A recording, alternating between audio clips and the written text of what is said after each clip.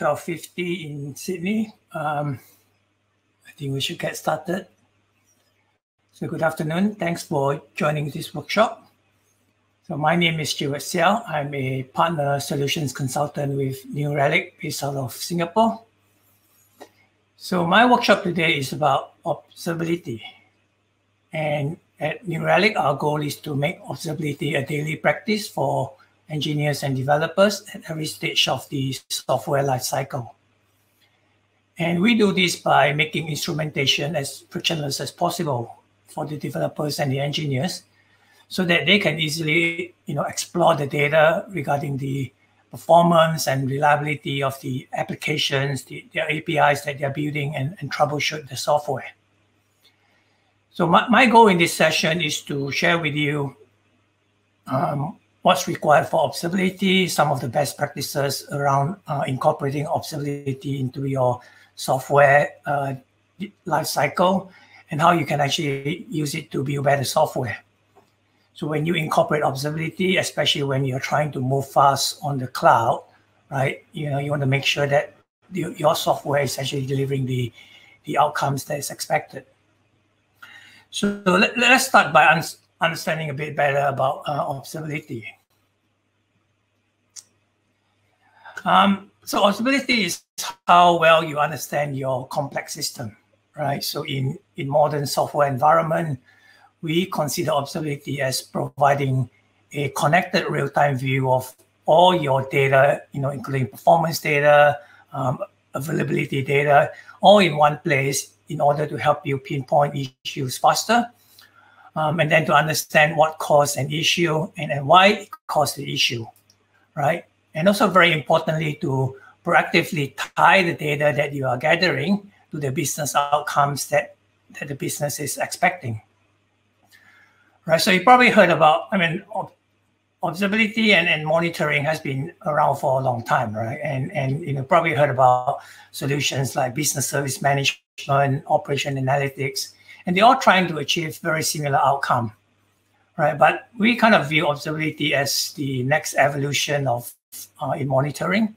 So where we look to analyze different types of telemetry data and, and incorporating, you know, the monitoring ideally automatically through the software lifecycle.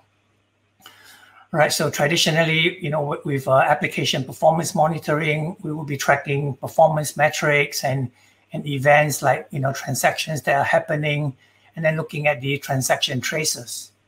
Right. And, and now, as we you know, as we move to the cloud and start to deal with microservices, um, you know, we want to start looking at distributed traces. You know, want to start looking at logs to be able to like troubleshoot faster, right? Together with all these same metrics that we've been gathering, right? And, and this is kind of how how observability is different from from monitoring. You know, we want to expand what we are, what we, what the data that we have access to, right? And and also to be able to be able to un understand the why, as well as you know proactively tie all this information to the um, you know to the complete software stack and then providing the you know the business value uh, of that data right so we hear commonly hear the term called full stack observability and which is what i'm going to share with you um, today. So if we look at uh, you know um, how full stack observability can help an organization move fast on the cloud right? You know and while minimizing the the cost and the risk associated with with um, getting onto the cloud. So essentially, you are, you are changing the, the fiber of your application architecture, right? So you, you're looking at uh, decomposing monolithic application to microservices. You're looking at leveraging managed database services, for instance, instead of self-hosting them, right? And having your applications run in containerized Kubernetes cluster as opposed to the standard uh, virtual machines. So, so taking the right approach to cloud observability can, can help to ensure you have that comprehensive visibility into your cloud native environment, right? And potentially helping you to guarantee the positive outcomes, you know, without necessary, uh, necessarily provide, you know, providing, creating the risk to your performance and, and your agility, right? So across um, our customers, we we we have a few core fundamentals in, in adopting the cloud, and and this is this is to actually make it easy for for them to to adopt these new cloud services easily, right? And then as they as they move along to actually experiment with the with the new technology, the new services, you know, hopefully without any risk. And then as their demand grow for their services, you know, to actually make sure that you know they're able to scale without um, you know um, having their costs running away right? So, so we, with each of these capabilities, you know, the KPIs that you see listed on the screen here, like availability, deployment frequency, this, these are really a good start to measure success of how you are doing on your cloud journey, right? But essentially, each organization should determine for themselves what to measure and kind of set their own target, right, based on their business environment. And th this measurement should be what the Good Observability platform can provide. So what I want to do now is to actually look at some examples of dashboards or reports that you can potentially use, you know, to observe how well you're doing for each of these capabilities as you move to the cloud, you know, as you transform the way you build your APIs, essentially incorporating, you know, an observability practice within your software development lifecycle. So switching to um, the New Relic UI, right? So here you can see, um, you know, how we are tracking um, the different services in, you know, that, that we are we are running, right? So this this is part of the initial capability of, uh, you know, trying to make sure that we can adopt easily, right? So we want to be able to first of all establish ob objectives and, and, and baseline, right? So so as to be able to compare like the before and the after, right? And then you know ad adopting these these services uh, like the um, you know database services as well as things like the uh, um, serverless functions, and then to be able to to tune them to to our needs, right? And then, and then finally you know from the data decide what services that we should migrate. Right, so on the right hand side of the screen, you can see that uh, you know um, this is the direction that we have for our monolith monolith uh, application you know the average response time and being able to compare that with the uh, you know the, the same application that we we run using um, uh, microservices right? And then looking at the you know the latency of all the different services within that um, you know the application looking at the the throughput for all the different services right? Um, and then looking at all the different transactions within the uh, um, the services whether it's from the uh, you know the the uh, the monolith as well as from the from the microservice, right?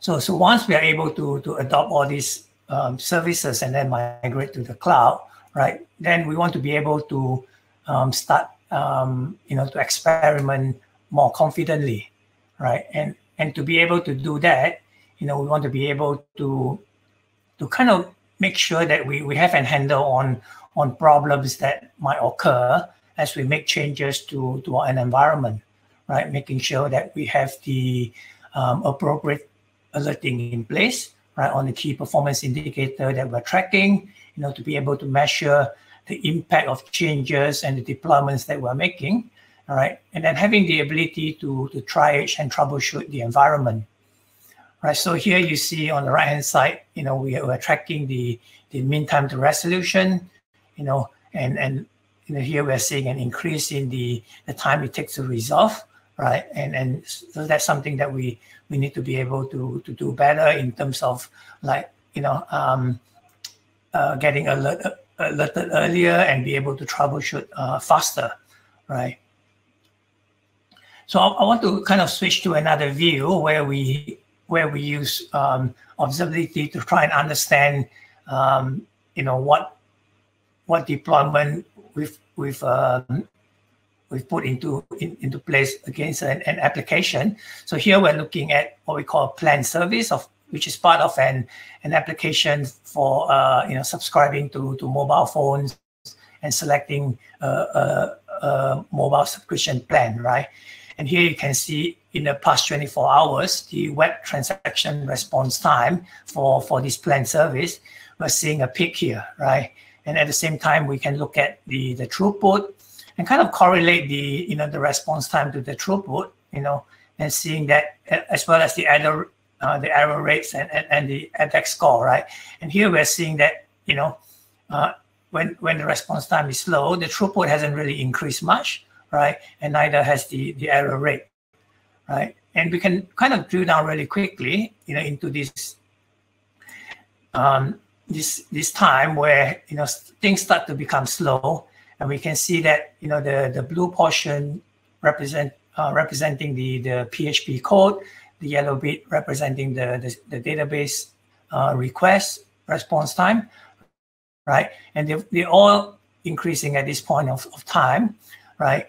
And what you're seeing with the the light yellow color is actually showing a warning violation that we've actually have uh, the web response time exceeding 500 milliseconds for more than five minutes, right?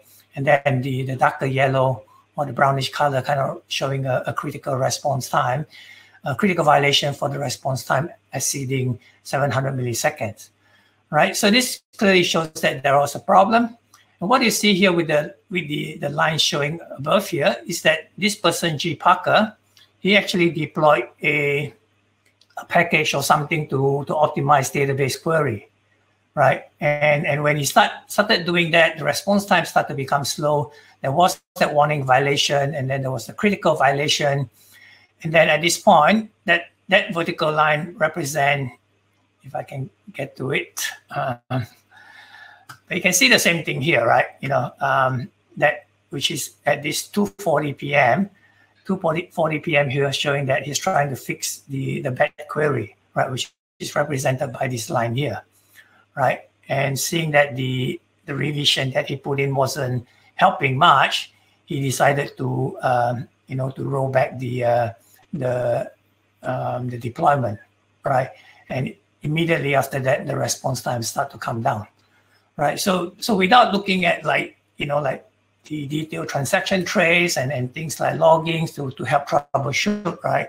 From from this view, we can very quickly understand, you know, that um, you know a deployment change is actually affecting the, the response time, right? And we can very, very quickly go ahead and and um, you know uh, back it out and then get the, the the the response back to normal, right? So so what we provide with observability in, in New Relic is to provide different workflows, you know, to help with different types of troubleshooting, you know, so that we can we can reduce the mean time to resolution, which is what we're trying to do back here, right?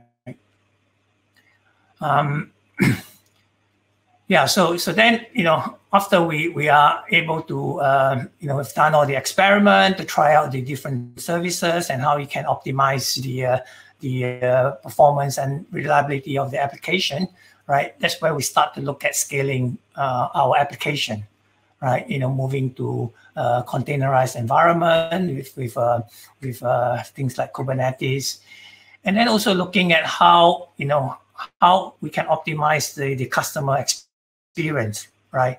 So we, we, we, we got something set up and not all customers will be exper experiencing the same kind of reliability or uh, performance as they as they uh, you know access the application from from different location, for instance, right? So so then you know trying to optimize the you know as we scale, right? You know using more cloud services, we, we need to look at whether we are optimizing that that resource that we put in, right? You know, in terms of like, um, you know, are we over provisioning the, the, the sizes of the of the services that that um, that we have running, right? So here we are looking at like the node um, transaction pressure, you know, measured in terms of the the number of transaction against the node, um, you know, and also for a, a Kubernetes uh, a cluster, you know, the the number of transaction um, hitting the uh, a particular port, right? And, and down here, we're looking at the, uh, you know, the application response time uh, from different location, right?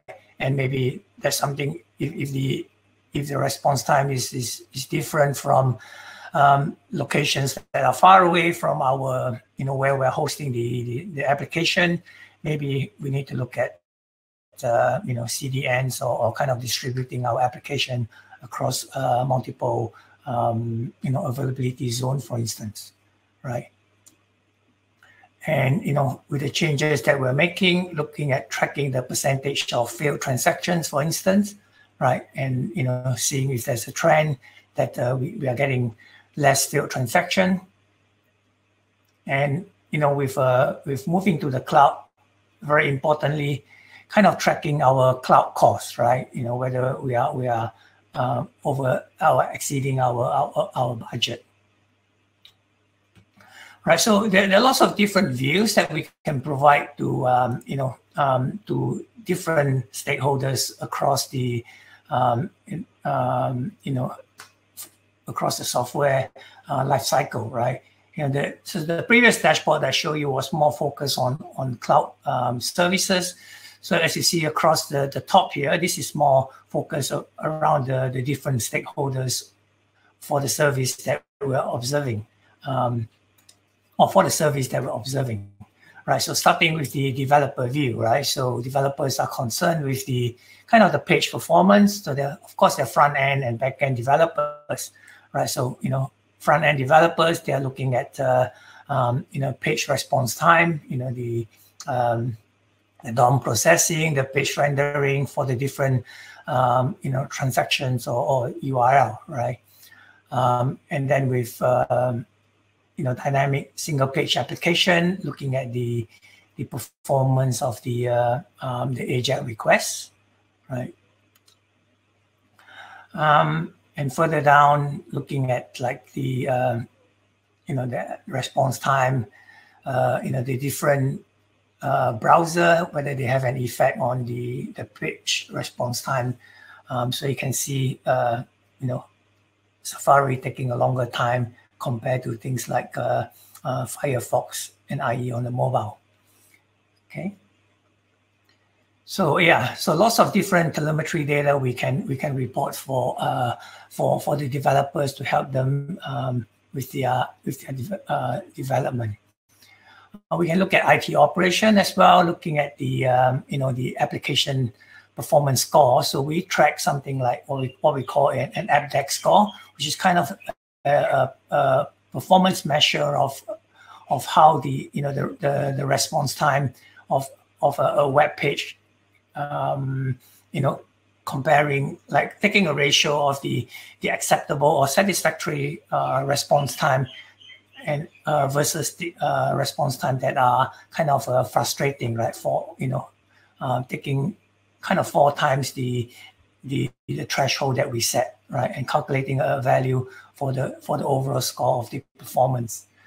Um, looking at the external uptime, you know, CPU utilization, yeah, fairly similar things for you know for development as well, but applying that to uh, for the operation team, right? Things like uptime, errors by server, you know, um, uptime for the for the one month, for instance right? So in terms of uh, for DevOps productivity, we're looking at like deployment um, efficiency um, as well as uh, operational efficiency, right? So looking at things like you know successful uh, release percent production, you know release to staging versus rollback. Um, yeah, so more to do with uh, uh, uh, deployment efficiency, as well as then looking at the further down the operational efficiency, right? Looking at the successful versus failed builds, um, you know, throughput, looking at the performance of the the the uh, Apdex across the different zones, as I mentioned earlier on, the satisfactory ones, the um, the frustrated ones, and the failed ones, right? So I'm, I'm going to pause here and see if there's any questions. Um, or anybody has any comments about this, what I'm showing you so far?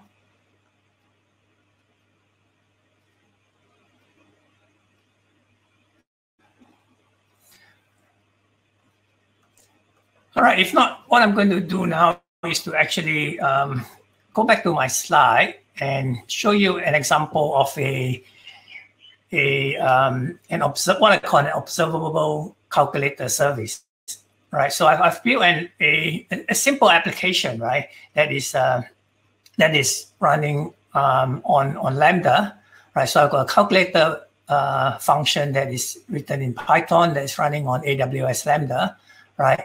And this this uh, this is invoked through a an API gateway um, on, on on AWS, and then a uh, a front end um, application written in, in PHP that's going to allow us allow me to to input a couple of numbers and then you know the calculator is going to do some simple arithmetic to you know calculate the sum the, the difference um, of, of the two numbers I enter. And as well as that I'm going to end, it allows me to enter the the, the API uh, URL so that I can test this uh, this um, API request and then look at the observability that I can get with this simple function, right?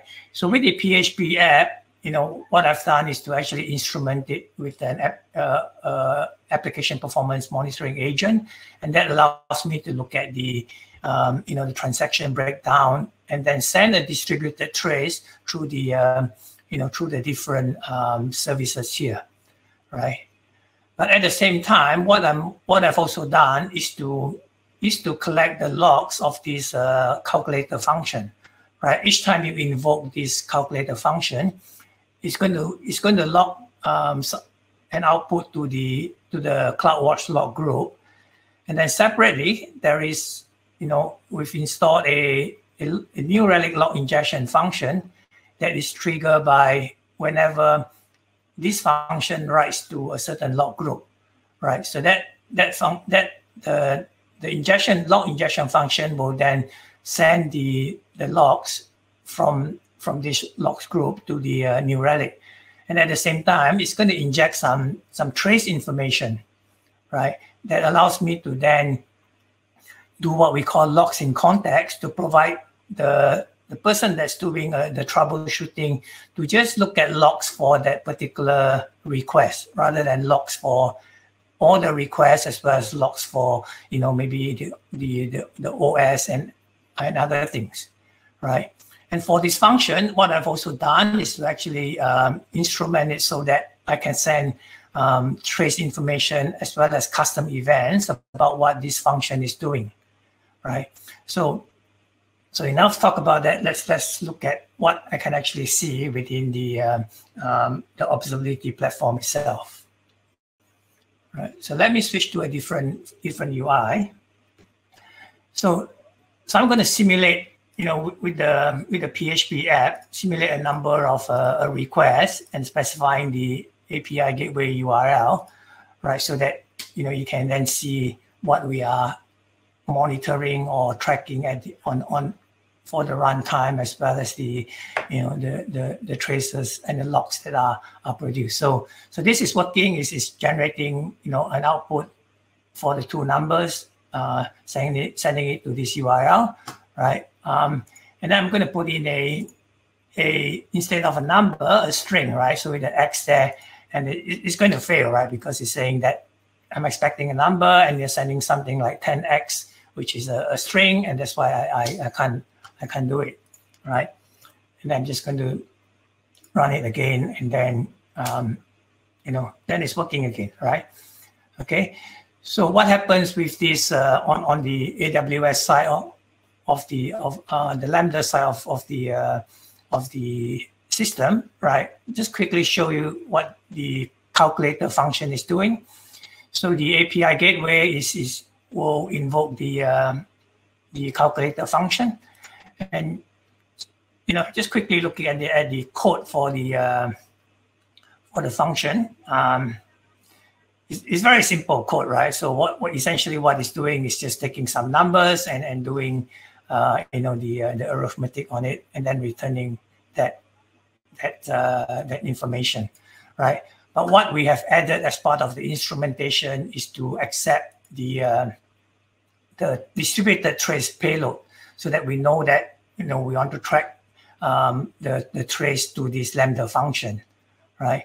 And at the same time, what I've done is to actually record a, a custom event to say that, you know, um, record a custom event called NRC account and then send this uh, uh, a number of parameters. And and this is how we would use this in, in real life is to like when say in, in the e-commerce application, you know, if the customer adds certain things to to a cart and then submit that for you know uh, for payment or, or, purchase, right? So we can track that that request, you know, as, as a as a you know as a custom event.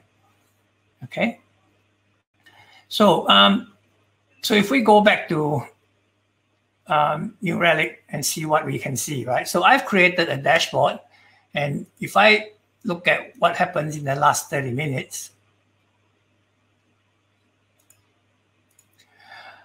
okay, you can see that, you know, I've drawn a service map, right, of the, it's a bit small, but, uh, you know, this service map is essentially showing the PHP, the browser, calling the PHP app, and then calling the, uh, the URL request right, of the uh, of the API call, right? So I did three invocation. You know, the first time was okay. The second time I put in the string. The third time I put in a a, a good you know two numbers again. So there are three invocation, and essentially because I haven't been using that lambda function for a while, it had to do a cold start, right? So we know that that um, that lambda function woke up, right? And then looking at here, there's a custom event, right? Okay, so I've, I've done it three times, but one time failed. So I didn't send the, the custom event for the um, the, the field uh, required. So I'm seeing the two, um, two uh, custom event, right? So looking at the error rate, you know, there was one error here, and then this is the throughput, right? But further down, you can look at, you know, I've actually made three requests through the API gateway, and then at the same time looking at the logs right? So this kind of a dashboard we can we can uh, produce so that we can get you know very very comprehensive visibility into that function that that um, you know I just described, right? But we can also go deeper and look at you know what happens within that uh, that calculator function, right? So um, so here I'm looking at the the lambda function, right? Um, so looking at the calculator function, is something that was instrumented. Um, so you see that I invoked it three times. Okay, nothing new here. But if then I look at the distributed tracing, right, and I click on this index PHP. Okay, so just picking the one that has got an error. So on the right-hand side here, you can see that there's those are the three functions that are invoked, right? So the middle one has got two errors right? Um, so let me just click on that. So this view is make, makes it very easy for us to to select the you know the trace because potentially in, in real life there's going to be lots and lots of traces, right? So the vertical axis here is the trace duration of, and of course we can sort it by by different um, uh, different metric, right? So you know there, there is one that is really slow, kind of an outlier, right? So you know that that happened here, and and this is actually because of the cold start, right? And that's why it took longer, right? So, so that you know really tells a story. But what I wanted to show you was this the trace um, for this transaction here, right? So you can see um, that is this PHP app, the calculator app, making a call to the Lambda function, but um, within that PHP app is making a request to this uh, um, API URL, right? And then within the uh, Lambda function that is calling, there was an error. If I click on that, you know, I can see the error details that, yeah, there was a, a, a value error. And here is actually telling me, you know, it should be a number, but I put in 10x, right? And you can look at information about this particular uh, transaction easily, right? Okay, so look at the attributes of the, the Lambda request and some of the details about the, the the function itself, right? So it's actually a, a Lambda agent, right? But you know, in, in, in real life, the the um, the the function could be uh, a lot more complicated. You know, there there will be uh, will be tracking, we'll be writing logs for this this service as well, and and to help us to troubleshoot the problem very quickly, you can see that we can refer to the logs here uh, very easily right? So if I click on logs,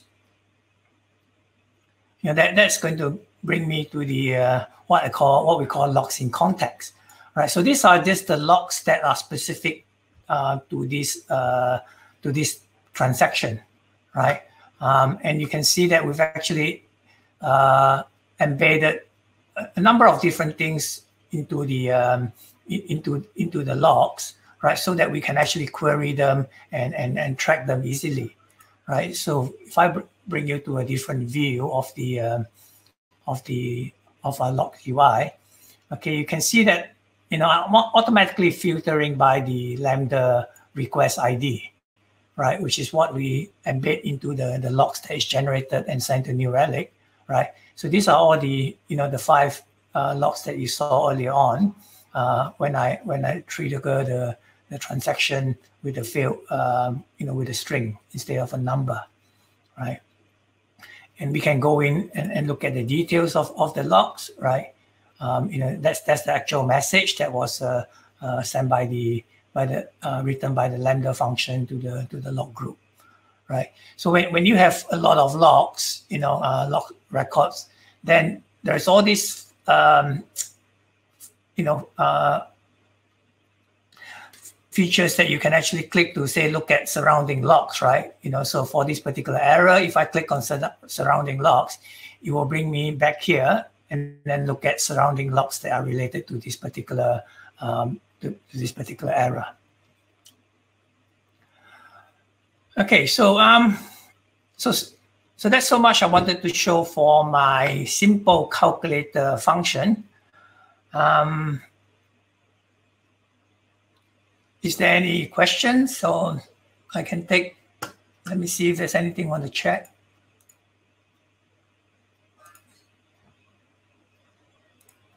Looks like we've got a fairly quiet audience here. But fine, let's move forward.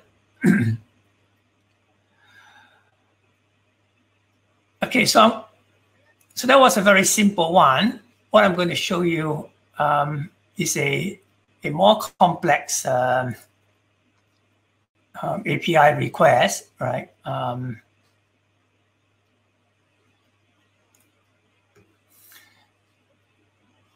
okay, so sorry, going back here. So this is a more uh, sophisticated uh, Lambda function, right? Um, kind of very similar to what I do, I did, but uh, um, you know, it's, it's, it's, part of a more uh, distributed uh, application. And here you can see that uh, you know there's a lot, more invocation of this uh, of this, this, function, right? And then if I start looking at this uh, distributed tracing, you see that you know there's there's a lot of different um, errors that I'm seeing here. And if I pick on one that has got more errors.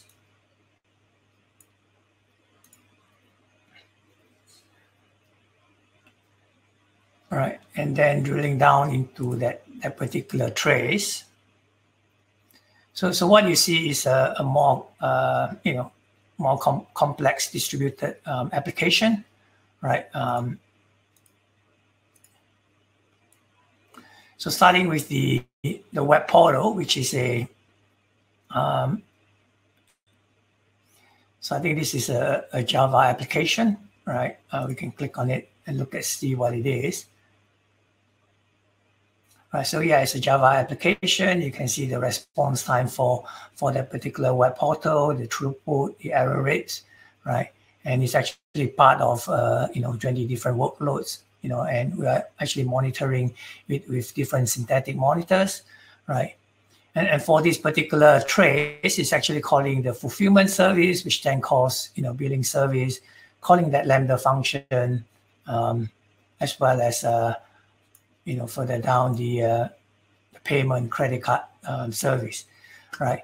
And we can click on each on one of these, right? So, so this is kind of a, uh, what we call a polyglot um, um, application where, you know, all the different services here are actually written in different um, different languages, right? So here we have a, a, Ruby application, right?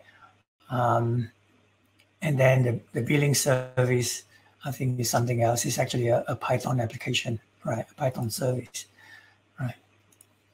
So similarly, if I click on the, the error, you know, we can see here is a different error.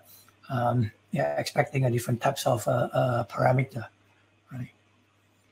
So now if I go and look at the logs, that will help me with, uh, you know, speeding up my, my troubleshooting. Right, so just going to show you the uh, the UI for the for the logs. So you see now we are getting logs for the, the different services, right? Under here, the web portal, the fulfillment services, right? And yeah, and this is the Lambda. The Lambda doesn't have a service, right? And, and we can actually show the uh, the the Lambda request ID, and this is what will appear here, right? Um, for for the uh, for the Lambda um, logs. Right. So what, what you see here, what we're trying to do here is that you know as we when we come into this uh, into this screen to look to, to look at the logs, we're actually filtering by the you know the lambda function, right? The request ID and then the trace ID for the different um, services, right? So we're getting just the logs pertaining to that um, to that uh, uh, transaction that traverses the you know the different services here.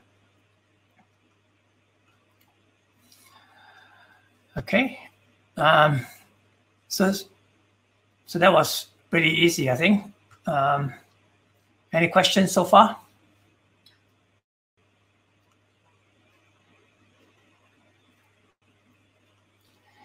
Yeah, the other type of monitoring that people typically we do, if we go back to my my simple calculator function, right, is um, things like synthetic monitors right? So my for my calculator function, what I've done, although I've uh, disabled them, so they are really, you know, kind of two types of uh, uh, synthetic monitor that we can run to, um, you know, to track the performance and availability of our of, of our API. So if I start by looking at the um, the scripted API, okay, so this, so here we can so I'm not running it. So this is not showing anything. So, but if I if I go to the script,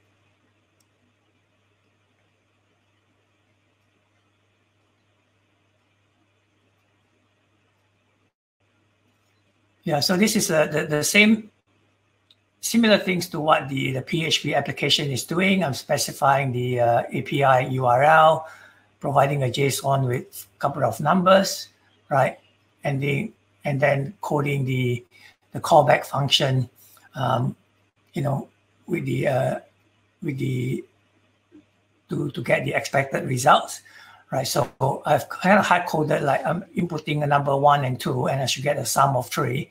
And if the if the the API works properly, I should get three, right? As a sum of the two numbers, right? So if I click on it to do the validation, and, and what this synthetic monitor does is that you know you can schedule it to run um, on a, on a, on a regular basis and then schedule it to run from multiple location, right? So this is running from uh, a point of presence I have in, uh, in, in Hong Kong, right? So what you see then is that that script, you know, ran successfully and it took 1.8 second. And I can look at the, the breakdown of the of the time it took, right? You know, the uh, the status is getting a 200, right? And then looking at looking at the uh, you know the breakdown of the, the the TCP as well as the HTTP request, right? The connect time, the DNS, you know if there's any H, uh, SSL handshaking, right? Okay, so that we we can you know we can have a good idea of how to tune this uh, uh, this API request. Okay. So the other way of doing this, um, if you don't want to write in JavaScript, right, is to use a, a recorder, right? So, so what I've done here is to actually record this UI, right, with a, a Selenium um, uh, IDE. And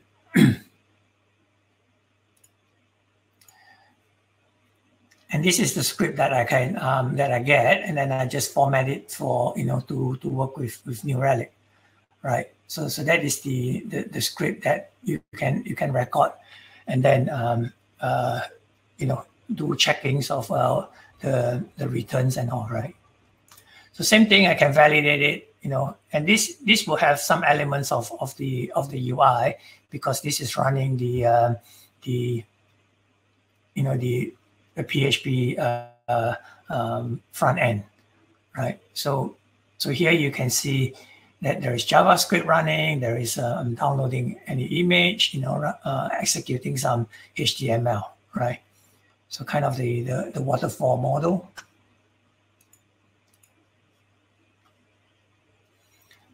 Okay, so I mean, this is uh, examples of how people test their test their API, right? And and in, and in reality, right, what what you would actually do is, you know, your API is returning a a series of URL, you you you probably don't want to just check for the you know the, the status of the the API. You may want to actually check the um, you know whether that, that series look through the series of uh, URL that are, are returned and see whether they you know they they are actually uh, um, available and, and returning the right uh, value for your mobile apps or, or your, your browser application.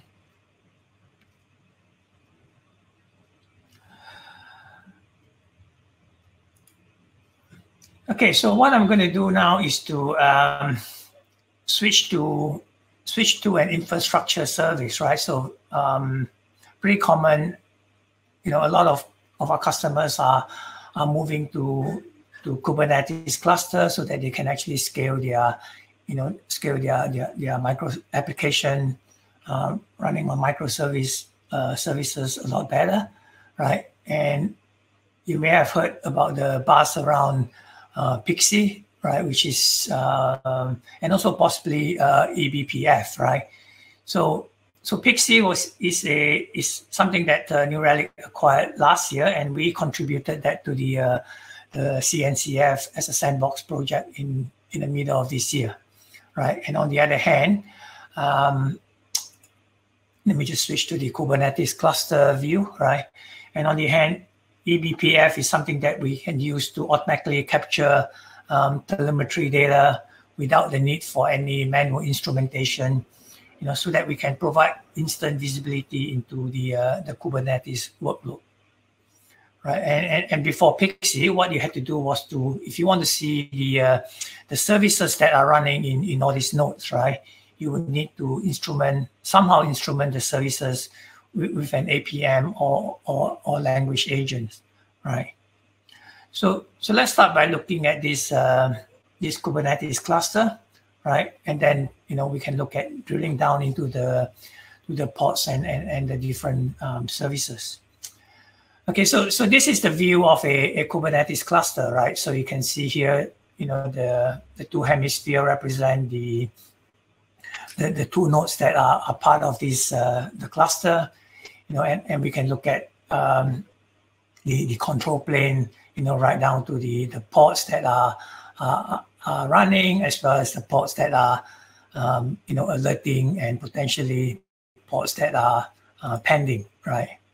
So I don't have anything that are pending here, but then, you know, um, pot, potentially, you know, you, you get pods that are uh, looking looking to download an image that, that they cannot find. So, you know, so it's stuck here or even pods that are um, um, that the uh, the control the you know that cannot be assigned to any particular node because of a, a resource uh, limitation, right? So if we look at and so so so looking at the the cluster, you know, just if we look at the nodes themselves, right? So here we are looking at the the resource utilization for the nodes, right? And so you have the CPU, the memory, the the storage availability, as well as the uh, the percentage of uh, allocatable uh, pods that are um, you know that are either available or or um, you know that are, are used, right? Okay, so um, so, so these are, are the running pods, yeah, and we can look at the their statuses. If I click on maybe something more interesting, yeah, recommendation service, you know, you can look at this is part of this particular requirement, you know, it's created by this replica set um, and it's sitting on this node. So it's So it's running a container as well as the, you know, the for this particular pod itself, the CPU and the uh, uh, the memory utilization, right? So you can look at what is being requested, which is represented by the the yellow line here, and then you know the limit uh, set by the Kubernetes, so the blue line representing where we are, right? So, so more interestingly, I think if we look at something that is uh, um, in the alerting uh, ring, right? So we can see same kind of thing, but then we see that there is, is alerting because there's a warning, and it's probably because this, um, you know, the the memory utilized is actually very close to the um, to the request, right? So we're getting a warning. Um, so, but you know, if you have a lot of uh, nodes and you have a lot of uh, pods running, right? You know, then you, you want to see the status of the, the different nodes that are running, um, you know, their, their statuses, you know, their CPU utilization for each of the, the pods in, in a table format, right? But when you have a lot of this, an easier way would be to, to search for certain type of deployment, right? So we can search by, um, you know, by deployment name or namespace or node name. So if we're looking to, to understand how a service is uh, performing, looking at the deployment, and then looking at some of the services that are there, right? So if I select the catalog service, then I can see that that is running on this node, only on one node and I can click on that and then look at how that, that node is uh, functioning and what it's actually doing, right? So because this is a, a, um, a, a, microservice that is running in there, then I have this additional um, service uh, section that that tracks the, the web transaction and, and, and the throughput of the HTTP request.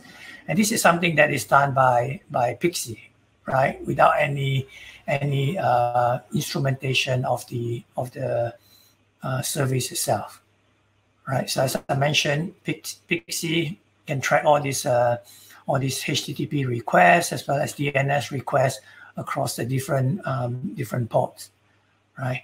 And all this information is actually stored on the cluster, right, on the Kubernetes cluster itself. But then we send some information back to uh, to New Relic so that we can then observe the um, the, the service, you know, uh, over time, right? So if I click on this service detail, so so this is back now in in the New Relic UI, right? And and you can see that's the response time, the throughput, and error rate, similar information, but then you have longer term historical data, right? you can then look at the, the transactions that are running, right? The uh, that, that have been requested, right? As well as things like um, the, the the database requests, right? So so all this can be done without any uh, any manual instrumentation. Okay.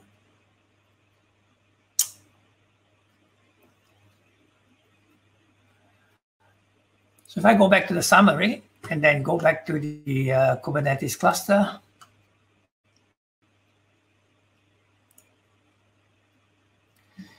So, so let's look at some live debugging with Pixie, right? So, um, so as I mentioned, Pixie sits on the uh, Kubernetes cluster. So now we can look at, um, you know, real-time uh, debugging of, uh, of what's going on between the, the pods and the and within the Kubernetes cluster, right? So again, you know, by without any uh, instrumentation, right? Uh, we can see the different um, services within the pods that are calling each other. So I've got this PX sock shop, the front end making calls to the um, making calls to like the, the catalog service, right? Uh, making calls to the, the DNS. No, not no DNS call, but you know, um, the user service, the cards, and so on, right? Okay. Um, and, and then the, the lines here represent the you know the uh, the number of requests as well as the, the response time, looking at P50 and then P90 and, and the uh, error percentage, right? Okay, so building the service map um, in, in uh, live with, with, what we call Pixie scripts, right? And you can do a lot of things, which I'm going to show you uh, in a bit later, right? But now we're looking at the cluster, and if we scroll down, we can look at you know what's going on with the nodes, the CPU utilization, uh, the different namespaces, um, yeah, the average size, and and the uh, resident set sizes, you know, for the different namespaces, and then all the services that are running within this uh, cluster, right? So I showed you earlier on the, um, let's just make this a bit bigger.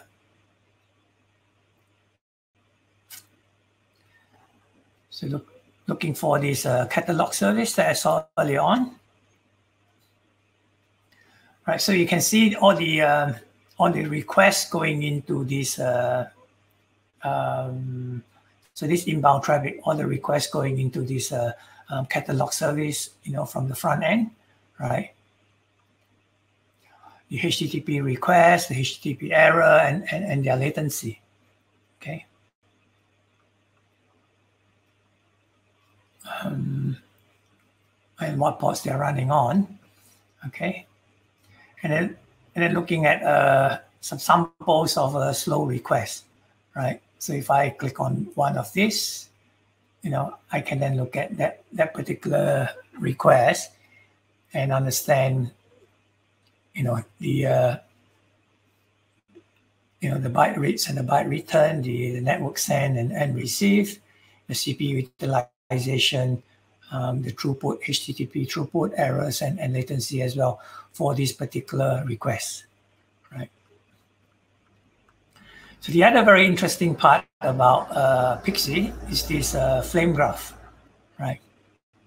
So, so this flame graph essentially provide the uh, the execution path through the um, um, through the kernel, right? So what you're seeing here, you know, the, the, dark blue area represent the um, you know the namespace and the, basically the Kubernetes uh, um, components, right? And and the light blue represent the uh, you know the uh, user user code, right? So these are the the catalog service and, the the function that is calling, right? And essentially, what we're looking for here are the uh, are things like hotspot, right? Looking at the width of the of the uh, of each of these uh, uh, function, right? Um, and where they are spending time, um, you know, utilizing CPU to uh, to perform perform this work, right? And on the other hand, we can also look at the, the green area, which are actually uh, kernel code itself, right? Okay. So, so you know, um, Pixie gives you very uh, deep, deep information into what is going on in the kernel, um, how the application is actually using using the uh, the um, you know the operating system resources. Okay, if we kind of move further uh, up and look at some of the other scripts that we can do with uh, with uh, Pixie. So, you know, so this is looking at the port, right? We can look at, um, say, the DNS flow graph, right? So looking at requests to uh, uh, to the DNS, right? So here you can see the the kube DNS uh, system, right? Um, and then you know which which function or which service is making a DNS call to help us troubleshoot um, you know DNS issues, right? So we can see from different entities to the uh, uh, you know to the uh, DNS, the latency, and and the count, right? Okay. Um, as well as things like um, maybe Kafka data, maybe um, database data, right? Okay, so looking at the table of, uh, you know, the database request from this source to this destination, you know, um, the, the SQL, as well as the, uh, you know, looking at the latency, right? And, and the result sets that we're getting Just checking if there's any questions on the on the session.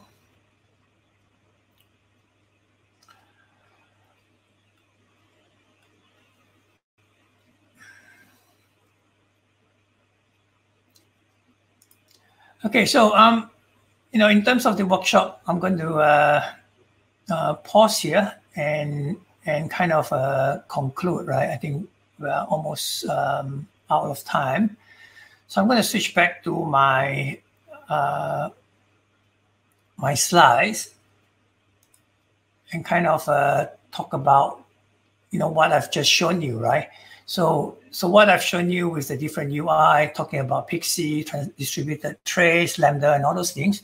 All, all these are, are, what we call dashboards or workflow uh, from the New Relic observability platform, right? So so the platform is, is built on the idea that we want to be able to instrument um, anything, right, or everything, you know, kind of, and, and, be able to view all this data in, in one place, whether it's data from, you know, the our agents, which you see what's on the left, as well as any telemetry data that, you know, that gets emitted by cloud native services, whether it's from, you know, uh, monitoring tools like Prometheus, Telegraf, you know, StatsD, um, distributed tracing standards like OpenTelemetry, um, you know, logs like uh, Fluentd and, and Logstash, right? So, you know, putting them all together in, into one one UI that I, I, show you, rather than having, you know, um, developers or, or engineers having to flip between multiple tools, right? You know, and